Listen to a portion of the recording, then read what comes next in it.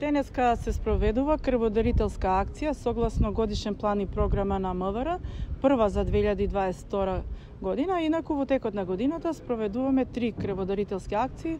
на секои 4 месеци. Значи започнуваме од 9 до 15 часот, до овој период сега имаме нешто повеќе од 20 крводарувања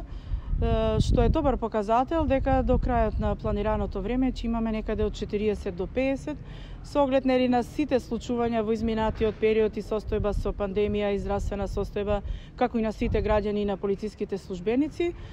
постепено почнуваме со зголемување на број на крводарувања и очекуваме во наредниот период